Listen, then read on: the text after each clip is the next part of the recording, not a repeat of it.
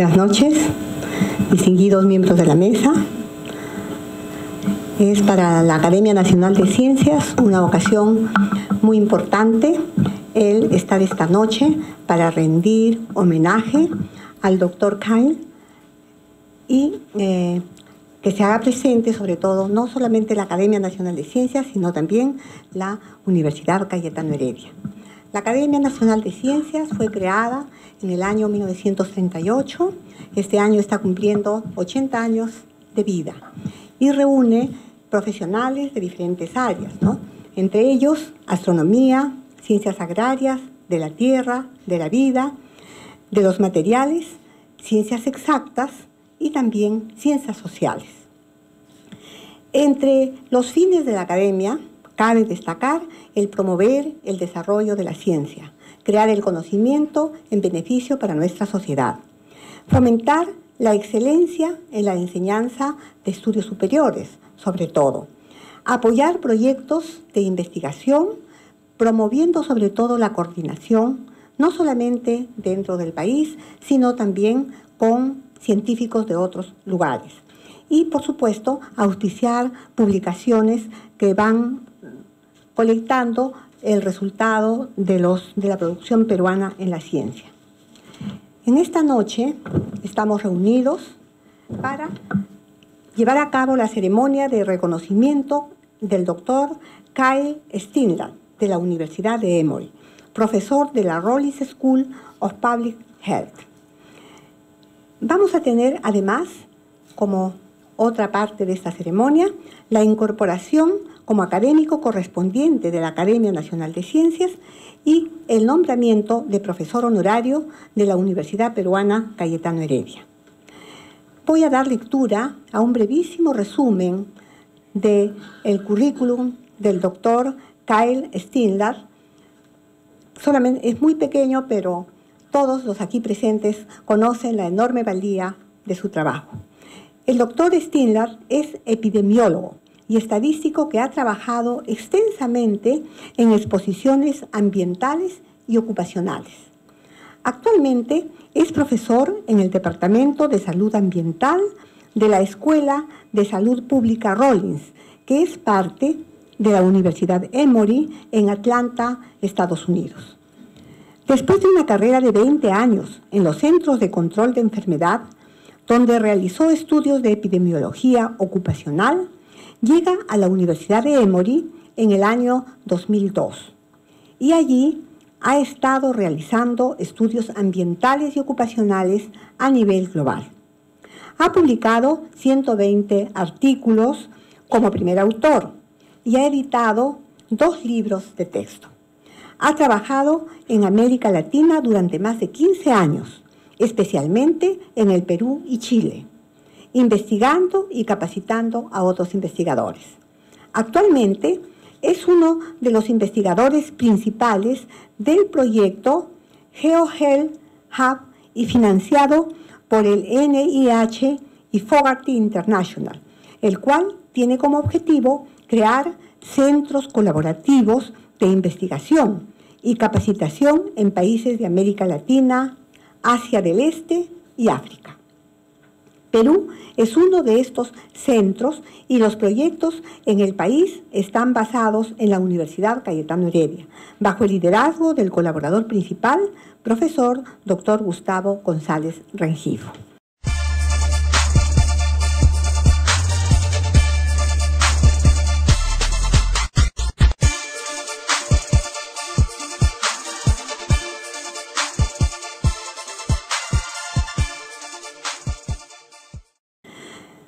Continuando con el programa, vamos a, proceder con la entrega de diploma e incorporación de medalla a la Academia Nacional de Ciencia del doctor Kyle Steele, de manos del presidente de la Academia Nacional de Ciencias, doctor Abraham Weisberg.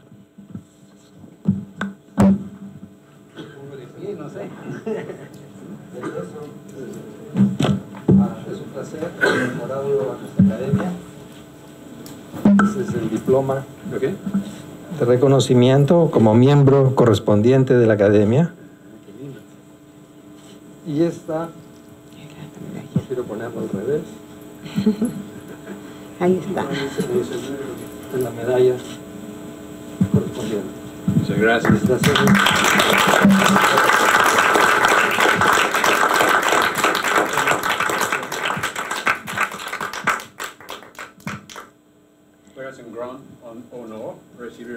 Medalla y estar recibido en la Academia Nacional de Ciencias, pero voy a hablar más rápido, yo creo. Sí, ahora. Es el momento entonces de escuchar el discurso de incorporación, los desafíos principales de salud ambiental en el Perú, por el doctor Kyle Stinland, profesor del Rollis School of Public Health. Bueno, tengo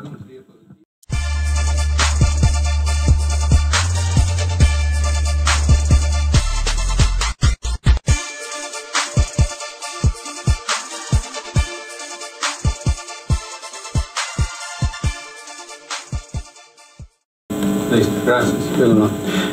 A ver si funciona. Entonces voy a tratar de hablar en español, pero eh, de vez en cuando tengo dificultades, pero yo creo que ah, mis colegas han amablemente traducido las diapositivas, así que vamos a seguir eh, los. Um, bueno, eh, nota biográfica. eh, en el pasado lejano, en mi juventud, que era hace mucho tiempo, eh, yo era historiador, viví dos años en Chile, recibí un doctorado en historia con tesis sobre la reforma agraria bajo Allende.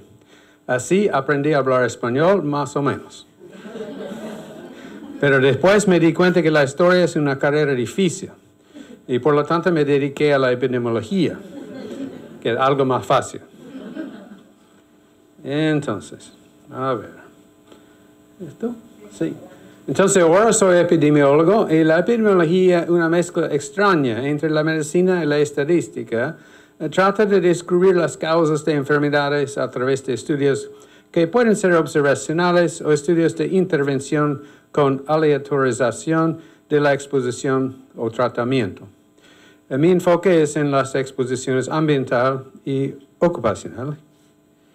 He estado en- eh, trabajando en Perú y Chile desde el año 2004 o quizás 2003. eh, eh, hay una controversia. Y en eh, 2016 conseguimos, en colaboración con el Dr. González, que está aquí presente, de la Cayetana Heredia, fondos de la NIH Fogarty para crear un centro colaborativo de investigación y entrenamiento en la salud, ah, salud ambiental, que se llama GeoHealth Hub. Este centro está basado en Lima y tiene lazos en Ecuador, Bolivia y Chile. Estamos llevando a cabo varias investigaciones, las cuales corresponden a los desafíos principales de la salud ambiental en la región y las cuales voy a describir en esta presentación. Esto es en nuestro website, ustedes pueden consultarlo si quieren. Eh, y eh, bueno. Ah, el centro está llevando a cabo programas de entrenamiento, incluyendo una clase anual de una semana aquí en Lima sobre la salud ambiental y la epidemiología que estamos presentando esta semana en esta sala. Entonces, es- eh, además estamos llevando a cabo varias investigaciones las cuales responden a los desafíos principales de la salud ambiental en la región y cuáles voy a a describir en esta presentación. Entonces, en cuanto a la clase de entrenamiento, aquí tenemos muchas personas que están allí involucrados. Ahí está Vilma y Gustavo ha sido ah, un poco ausente, pero esperamos mañana que participe. Y Luz, y, eh, un equipo muy bueno. Eh, ya, entonces, desafíos, eh, aquí destaco eh, cuatro, pero claro que hay muchos. Eh, la contaminación del aire en exteriores, eh, del aire dentro del hogar y ah, cambio climático y arsénico en el agua. En cuanto a contaminación exteri- en- de exteriores o ambiental, la contaminación del aire ha sido vinculada a enfermedades cardiorrespiratorias y eventos adversos en el embarazo. Eh, en el mundo entero se estima que la partícula fina ambiental 2.5 es responsable Ah, de 4 millones de muertes, 13% total de las muertes atribuibles a factores de riesgo en 2016 y responsable 10% de los años de vida ajustada por la discapacidad, ocupa el séptimo ah, lugar entre los ah, años de vida ajustado de todos los factores de riesgo. Y ese es un producto del grupo en Seattle que estima el, el peso, la importancia de distintos factores de riesgo um, en el mundo, incluyo también dentro de cada país. Seguramente hay eh, estimaciones para Perú específicamente. Uh -oh, ¿qué hago?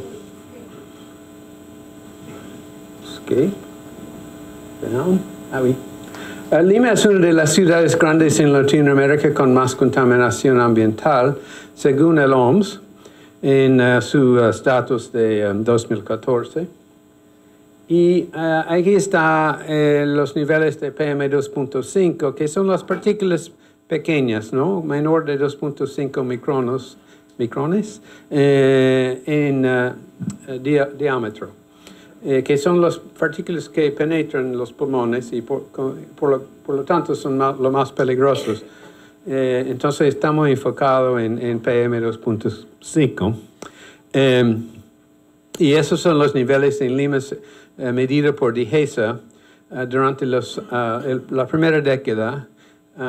es un promedio anual en Lima.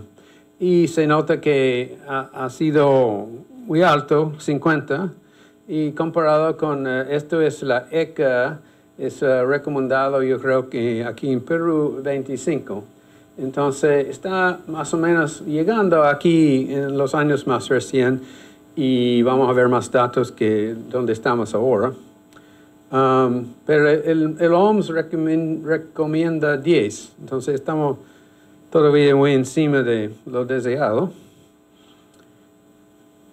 Eh, eh, hemos publicado, el primer autor era eh, Gustavo aquí González, y donde estimamos que hay aproximadamente 4.000 muertes anuales en Lima eh, atribuibles a un nivel aumentado de PM2.5 en el aire en Lima encima del nivel óptimo recomendado por la OMS de 10 microgramos por metro cúbico, que fue publicado, que fue publicado en español, un artículo muy importante que ustedes pueden leer eh, en la revista eh, Perú Med Ex Salud Pública, que es muy difícil decir todas las palabras.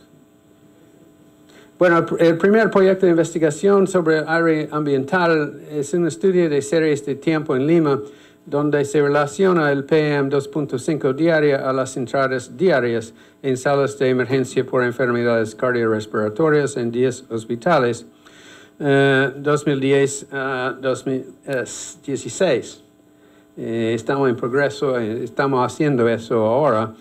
Eh, los objetivos es relacionar esas entradas con eh, los niveles de PM2.5 y determinar los distritos de dónde vienen los pacientes para asignarles niveles promedios de PM2.5 en su distrito. O sea, se puede asignarles el, el nivel promedio en toda la ciudad de Lima, o quizás mejor, asignarles los niveles locales donde viven.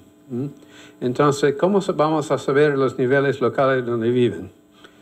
Bueno, esos son los 10 ah, hospitales en el estudio, un poco difícil de leer, pero ahí está Caetano Heredia, Puente Piedra, Sergio Bernales, etcétera. Y tenemos ya los datos de entradas cardiorrespiratorias diarias en estos hospitales eh, durante esos años. Y aquí tenemos estaciones de monitoreo ¿no? de PM2.5 en Lima. Em, hay algunos problemas. Bueno, primero es em, los em, puntos verdes son de tsunami, hay 10 y los puntos rojos son de Digesa, yo creo que son seis, si me acuerdo. Y también hubo un estudio de William Chetley en 2012 en esta región de Lima, donde él midió muchas, uh, uh, uh, tenía muchas mediciones de PM2.5 también y usamos esos, esas observaciones también. problema es que no hay datos completos para todos los días ni para todos los años. Eh, por ejemplo, empieza en 2014 de tener datos diarios de, de PM2.5 y no, no en todas las estaciones son diarios tampoco. Entonces hay huecos, hay huecos de años, hay huecos de, de semanas, hay huecos de días. Entonces, ¿cómo llenar esos huecos? Eso es lo que queremos hacer porque queremos tener los datos el día anterior de la entrada para saber si la entrada misma fue relacionada con, con eh, la contaminación el día antes. Entonces, eh, lo que hace el, grupo de, expertos en medición del aire, eh, aquí está Dr. Yang Liu y Dr. Stephanie Sarnett de Emory, que están participando y colaborando con nosotros y estamos trabajando estrechamente con Senami, que depende de MINA, y que controlan estas estaciones.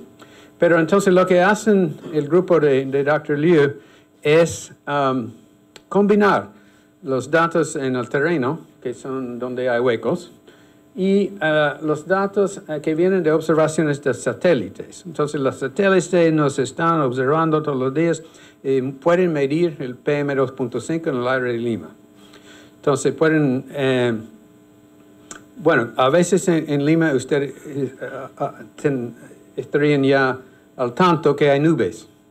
Uh, y cuando hay nubes, los satélites tampoco pueden captar los datos necesarios, pero hay muchos días donde pueden. Entonces, también tenemos uh, eh, información meteorológica y, y, datos sobre la densidad de población y distancia de caminos, porque los caminos generan partículas. Entonces, combinamos todas esas fuentes de datos para uh, crear un mapa que está muy detallado hasta cada kilómetro cuadrado en Lima para estimar el nivel de contaminación diaria de PM2.5 durante seis años. Y aquí tiene durante el año 2016 eh, los promedios eh, según el distrito de Lima, de lo cual eh, cuales hay 43, si no me equivoco. Y se nota que hay menor concentración de PM2.5 al lado del mar, y eso porque el viento empuja eh, la contaminación hacia las montañas. Y por eso es más, uh, más uh, contaminación allá. Aunque una dificultad es que la última estación de elevación es, yo creo, 3, 350 metros de la estación de monitoreo de ATE. Y el modelo está tratando de predecir en la altura aquí que sobrepasa por mucho 350 eh, metros. Entonces está tratando de modelar cosas donde no hay observaciones. Entonces es una de las múltiples dificultades de tratar de ajustar el modelo, pero habría que decir que el modelo funciona bastante bien en el sentido de que eh, está prediciendo ¿no? Eh, el, el, aire contaminado en, en todo Lima, pero también en las estaciones mismas donde están medidos. Y la correlación entre las observaciones y las predicciones del modelo es muy estrecha. Entonces, tenemos bastante confianza en el modelo. Tiene, para los que están interesados en regresión lineal, un R cuadrado de uh, 0.74 o algo así, que es bastante alto, máximo siendo 1. Ok. Entonces, eso nos permite asignar niveles según el distrito donde vive cada paciente.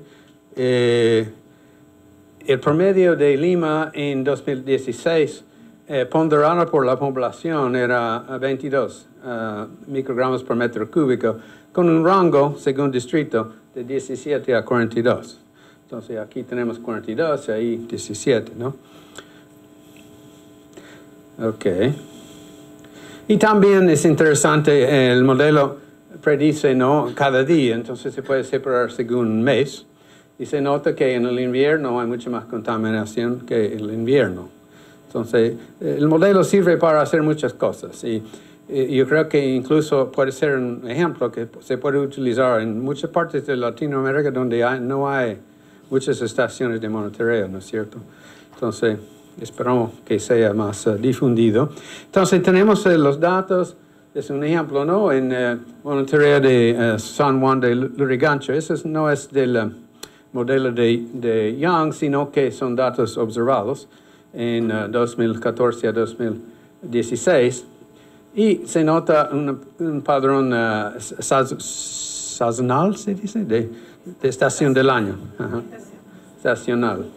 Y ah, aquí están las eh, entradas al hospital, que también muestra un padrón de estacional. Eh, lo que se interesa es si el día anterior a esta entrada hubo más concentración de PM2.5. Eso requiere un análisis que no hemos hecho todavía porque acabamos de recibir los, los datos del modelo. Pero ahí vamos. Y segundo, investigación sobre aire ambiental es el, eh, eh, eh, sobre los resultados reproductivos adversos ah, del embar- embarazo, peso al nacer y nacimiento prematuro en Lima. Los datos, eh, esto es, son- es un esfuerzo preliminar con datos de 2007-2009 eh, que se obtuvieron a través del Sistema de Información Perinatal que se llama SIP um, en los dos hospitales, Cayetano Heredia y San Bartolomé, eh, y relacionado con datos de exposición de, de cuatro monitores eh, cerca, estos cuatro. Entonces, lo que hicimos es ver eh, si la, eh, la mujer venía de este distrito, asignamos el nivel de PM2.5 de este distrito durante los nueve meses antes, ¿no? Del, durante la gestación. Um, ya, y, y entonces estamos restringiendo a, a las madres que vienen de estos cuatro distritos para tener más especificidad, especificidad en eh, asignación de- del eh, nivel de PM2.5. Entonces el diseño eh, es um, relacionar, de hecho, el nacimiento prematuro con el, ah, con el nivel de contaminación durante el periodo gestacional o durante trimestres específicos. Ah, mientras más PM2.5, menor el peso o ah, mayor la probabilidad de nacimiento prematuro. Y estamos ajustando el modelo por la edad de, de la mamá y, y otros factores. Entonces aquí tienes resultados para el segundo trimestre de exposición eh, en cuanto al ah, parto prematuro. Y se nota en el tercer trimestre, eh, eso se llama razón de odds o digamos, eh, eh, significa que aquí hay 25 más por ciento de chance de tener un parto prematuro y aquí 60 y aquí 80. Entonces va aumentando según el cuartil de PM2.5. Entonces, eso es más o menos eh, un estudio piloto, si quiere, pero vamos a seguir con eso eh, eh, con el modelo que está haciendo Dr. Liu. Ah, bueno, pasamos a contaminación intradomiciliaria. El aire contaminado dentro de las casas contiene altos niveles también de PM2.5, mucho mayor que ambiental, ¿no es cierto? Porque están quemando leña y, y bosta en, eh, en las casas en Perú, eh, en muchas casas de Perú. Y esta contaminación ha sido vinculada a presión arterial elevada, enfermedades cardiovasculares, neumonía infantil, bajo peso al nacer, etc. Um, en algunos estudios. Y también tratamos ese tema en um, el artículo uh, en 2014, uh, uh, de lo cual ya, ya he hablado con uh, Gustavo como primer autor. Um, y otra vez, a nivel uh, mundial, es importante el, la, la contaminación del aire dentro del hogar, responsable por ah, casi 3 millones de muertes y 7% de la carga mundial de, de, lo que se llama DALIS. Décimo lugar entre ah, estos años uh, vivido con discapacidad. Y aquí en Perú, esa es una figura que salió en ese artículo de 2014, se nota que 3 1.6 millones eh, de viviendas eh, están usando alguna manera de combustible de biomasa. Entonces, ahí está el problema. Um, claro que está cayendo, ¿no? A través de los años, pero todavía un, un porcentaje importante. Entonces, eh, también hicimos una estimación de 3.000 muertes prematuras anuales entre adultos por exposición excesiva a PM2.5 dentro de las casas con otro número desconocido de muertes entre niños debido a infecciones respiratorias, sobre todo neumonía.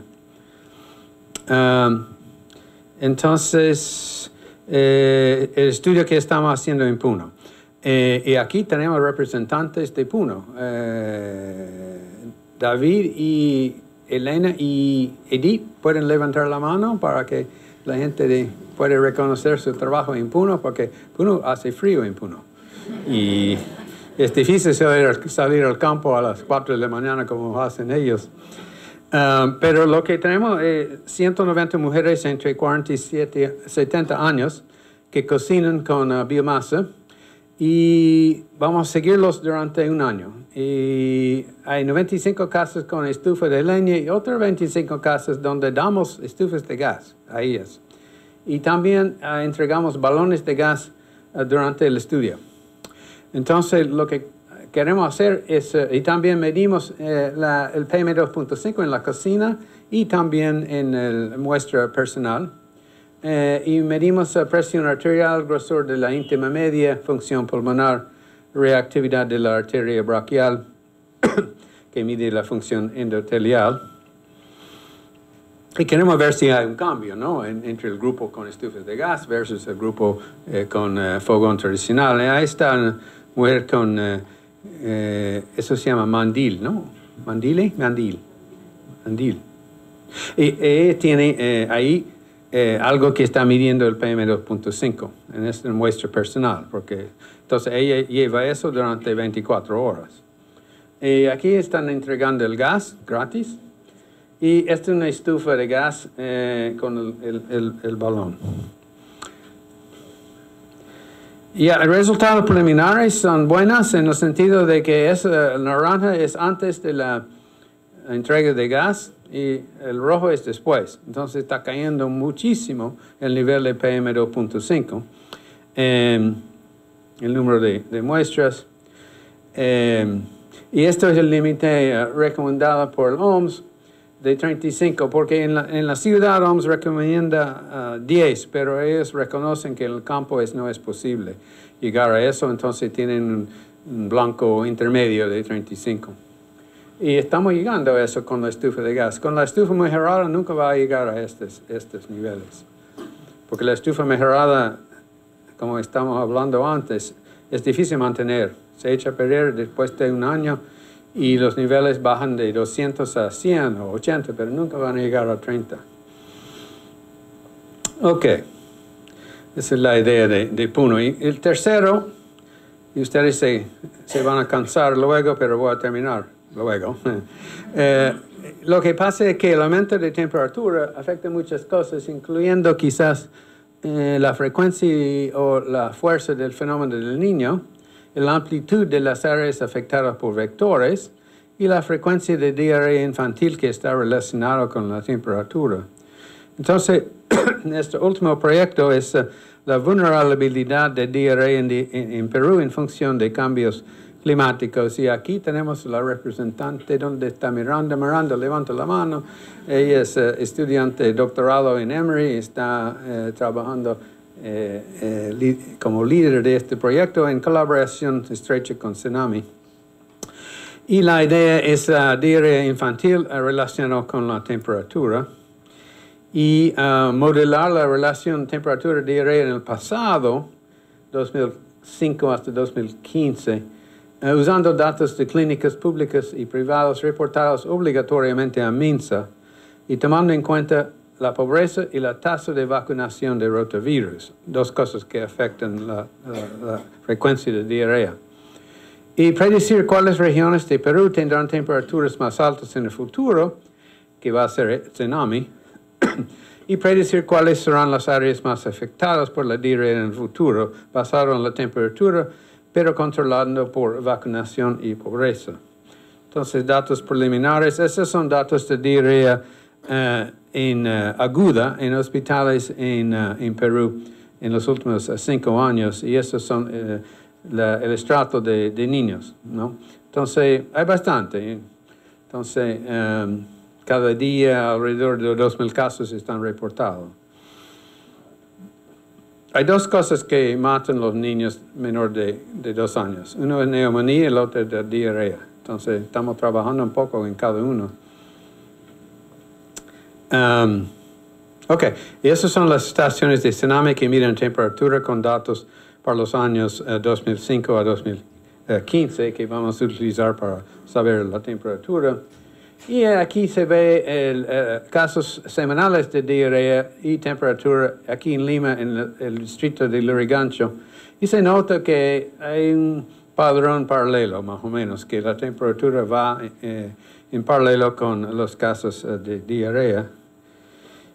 También otro factor que afecta la diarrea obviamente es la pobreza. La pobreza va cayendo en Perú, afortunadamente. Entonces tenemos que tomar eso en cuenta eh, cuando estamos modelando eh, la frecuencia de diarrea. Y también la ah, vacunación contra rotavirus que afecta solamente a la diarrea que está producida por virus y no afecta a la diarrea que está producida por bacteria, pero de todos modos tiene un impacto importante en la diarrea en, Perú. Y se nota que en 2008 se empezó la campaña de, vacunación que llega a, altos niveles ahora en Perú. Entonces se puede notar, en, por ejemplo, en Trujillo, la provincia de Trujillo, que los casos eh, diarios eh, de, eh, de, diarrea van cayendo por sí mismos, pero aquí con la vacunación van cayendo aún más. Entonces, es una tendencia que se nota en todo Perú. y la idea, esos son datos hipotéticos, pero es la idea es lo que queremos producir. Un, un mapa de vulnerabilidad a diarrea en el futuro con el cambio climático, donde las regiones con más peligro están en rojo. Eso esperamos, esperamos producir dentro de más o menos un año. Finalmente, ah, yo prometí que esa diarrea era el final, pero no, que era el arsénico. Eh, tiene niveles elevados de arsénico en el agua de consumo. El arsénico se sabe que causa cáncer de vejiga, piel, piel y pulmón ha sido asociada con resultados reproductivos adversos. Aquí tiene un mapa de Puno y esos son los niveles verdes, son lo que está recomendado y aquí tienes los niveles más altos y se nota que hay muchos lugares en el lugar de Puno que son muy elevados. Entonces, um, lo mismo pasa en Tacna y aquí tenemos representantes del estudio que está planificado, Cintia y Diego levanten las manos, ahí están. Eh, estamos tratando de, de, hacer un estudio, todavía no tenemos los fondos, entonces esto es más una idea que un estudio en marcha, pero eh, queremos hacerlo. Eh, la idea es buscar la relación entre peso al nacer y um, la cantidad de arsénico, tanto en el agua, en la casa, pero también en la orina, ¿no? Eh, también queremos analizar un polimorfismo genético que puede proteger contra los efectos dañinos de arsénico. Y eso es todo por hoy. Es un gran honor haber sido seleccionado a ser miembro de la distinguida Academia Nacional de Ciencias de Perú. Muchas gracias y también eh, en cuanto a la Universidad Cayetana Heredia. Y quiero agradecer sobre todo a mi colega doctor Gustavo González por haberme auspiciado y ha sido un placer trabajar a su lado durante los últimos 15 años. Y también quiero agradecer al equipo de investigación de, de Caetano, que está presente aquí, muchos de ellos, y a todos los profesionales de DIGESA MINSA y Sename Minam, que han sido colaboradores generosos en todas uh, nuestras investigaciones. Eso es todo.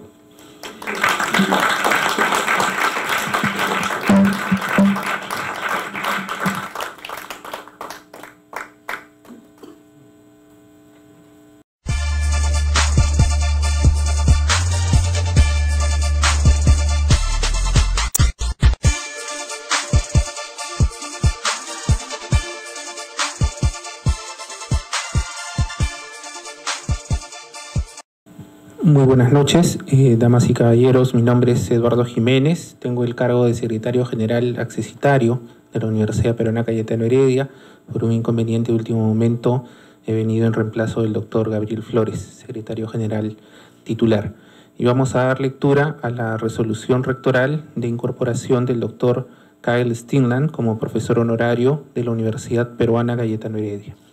Resolución Secretaría General Universidad Peruana Cayetano Heredia 2018-CU-0188. Lima, 4 de abril del 2018.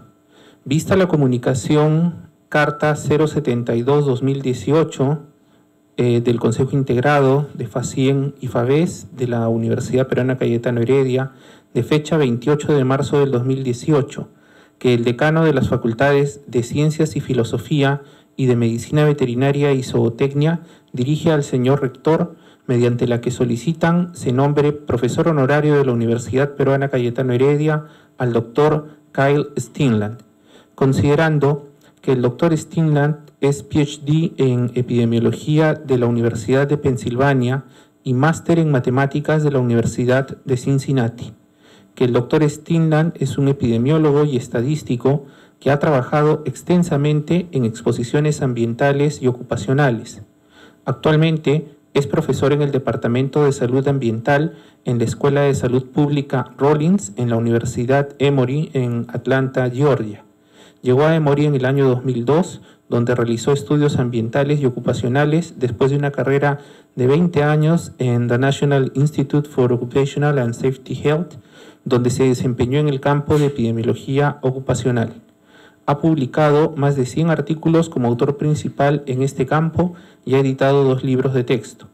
Que el doctor Steenland tiene un interés particular en cuestiones metodológicas y estadísticas en epidemiología, incluido el ajuste por confusión, error de medición, ajustes empíricos de Bayes, contrasubjetivos, sesgos en el riesgo atribuible, evaluación de riesgos y medidas de atenuación de efecto en exposiciones altas, entre otros. Que el doctor Steenland ha trabajado en América Latina investigando y enseñando durante más de 15 años, especialmente en Perú y Chile. Actualmente es uno de los investigadores principales del proyecto GeoHealth Hub, financiado por los Institutos Nacionales de Salud, el cual tiene como objetivo crear un centro de investigación y capacitación en el Perú. También está trabajando en un ensayo de intervención aleatoria financiado por el National Institute of Health que compara estufas a gas con estufas de biomasa tradicionales en cuatro países, uno de los cuales es el Perú que la experiencia científica del Dr. Steenland se demuestra en sus 251 publicaciones de artículos originales y de revisión y dos libros. Es editor de la revista American Journal of Industrial Medicine, así como de la revista Epidemiology y editor asociado del Environmental Health Perspectives en reconocimiento a sus relevantes méritos académicos y científicos, y estando a lo acordado por el Consejo Universitario en su sesión del 4 de abril del 2018, y de conformidad con lo dispuesto en el artículo 196, literal B del Reglamento General de la Universidad Peruana Cayetano Heredia.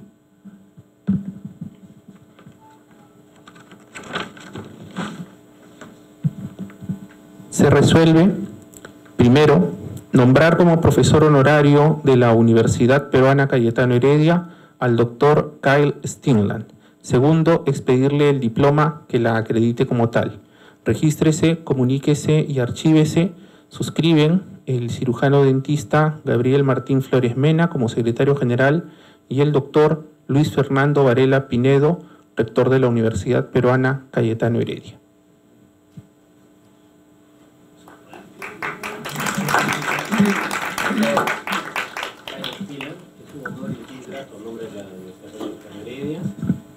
Diploma que lo acredita como profesor honorario de nuestra casa de estudios. Gracias y.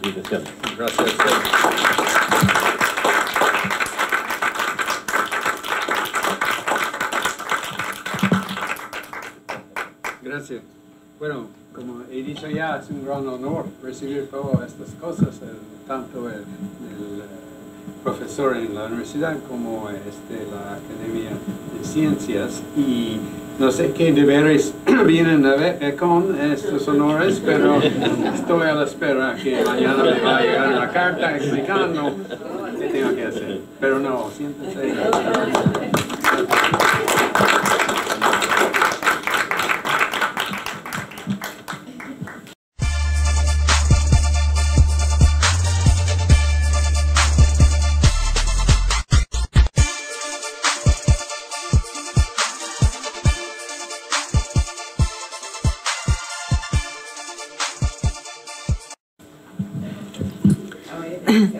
Vamos a finalizar esta ceremonia pidiéndole al doctor Luis Varela Pineda proceda a la clausura de la sesión y de esta ceremonia. Eh, muy buenas noches, eh, doctor Abraham Weisberg, presidente de la Academia Nacional de Ciencias, nuestro distinguido profesor eh, Kyle Stilland, incorporado como miembro de la Academia Nacional de Ciencias y como profesor honorario de la Universidad de Heredia, distinguidos miembros de la mesa, eh, señores decanos, vicedecanos, autoridades, doctor Gustavo González, un gran colaborador en todos los estudios que ha presentado el doctor Stilland, señores y señoras, sobre todo los investigadores que están presentes acá, que trabajan con el doctor Stilland, ¿no? Eh, bueno, eh, nos ha presentado de una manera muy didáctica y muy sencilla, pero con mucha pertinencia, el trabajo de investigación que viene realizando en los últimos 15 años en América Latina y dentro de ello en el Perú, el tema que nos ha presentado sobre los principales desafíos de la salud ambiental en el Perú, creo que no pueden ser más pertinentes en un país donde es un gran problema con las implicancias que él ha mostrado, en los cuatro desafíos que está trabajando. Eh, nos ha mencionado claramente las partículas pequeñas y el problema de impacto que tienen en la salud de las personas. Eh, nos ha presentado también el tema de la contaminación intradomiciliaria, con gran impacto en la salud y en los niños prematuros, en fin. Todavía hay resultados que seguramente se tendrán que ver. Me interesa mucho a mí el impacto en lo que es las enfermedades cardiovasculares, eh, la respuesta endotelial de las, de las personas. Nos ha presentado también el tercer desafío sobre la diarrea asociada a los cambios climáticos y ese mapa que se tiene que hacer para tomar medidas preventivas. Y finalmente el tema del arsénico ¿no? en el agua, de la contaminación y toda la implicancia que puede tener esto. Entonces, no me queda más que reconocer este gran trabajo que viene realizando el doctor Stilland en el Perú en particular, en zonas sobre todo con alta demanda ¿no? de, este problema y de este impacto que tiene en la salud. Y también reconocer a todo el equipo de investigadores que lo acompañan y sobre todo en la Universidad doctor este, Gustavo González, que lo veo que trabaja en muchas áreas y lo hace muy bien, doctor Gustavo González. Creo que es uno de los investigadores más destacados en nuestra universidad y también otros investigadores que están presentes acá. Entonces, felicitaciones, doctor Stilland. Es un honor para la universidad incorporarlo como un honorario. Eso, como usted bien dice, implica también algunos compromisos que ya seguramente lo va a conocer. y bueno, no me queda más que declarar, eh, clausurar esta ceremonia y agradecer a la Academia de Ciencias por la iniciativa y por la invitación. Buenas noches.